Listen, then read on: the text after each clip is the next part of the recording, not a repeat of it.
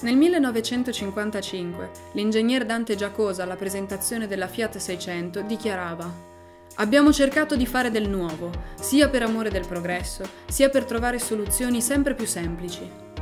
Questo in ottimo stato di conservazione è uno dei primissimi prototipi della 600, realizzato nel 1952.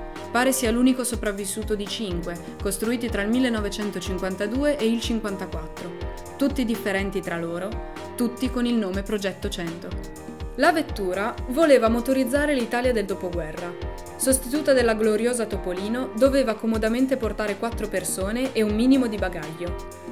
Il progetto prevedeva un peso che doveva girarsi sui 450 kg e una velocità di crociera che non doveva essere inferiore agli 85 km/h.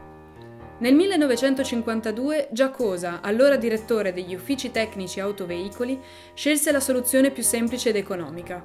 Come già fatto da Ferdinand Porsche per la Volkswagen e Renault per la 4 cavalli, adottò la disposizione tutto dietro, motore posteriore e trazione posteriore.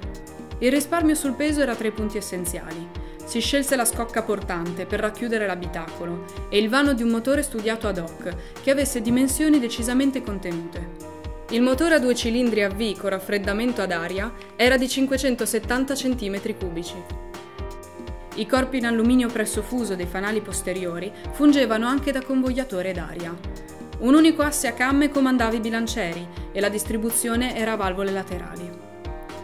Altra particolarità innovativa del prototipo era l'assoluta mancanza del pedale della frizione. Tra gli intenti del progetto era non solo quello di costruire una vettura economica e capace, ma anche di essere estremamente intuitiva e facile da condurre. La disposizione della meccanica nel vano motore doveva poi permettere l'accesso a un'agevole manutenzione. I risultati dovettero essere stati piuttosto deludenti, visto che il progetto del motore venne alla fine abbandonato.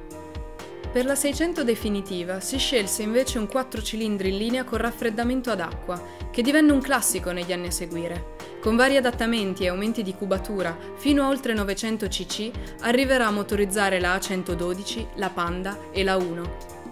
Il prototipo che abbiamo fotografato, finiti i test e l'abbandono del motore bicilindrico, probabilmente non fu più utilizzato. La meccanica, ferma da diversi decenni, risulta bloccata.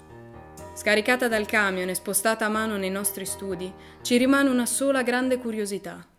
Sentire il sound del suo motore bicilindrico.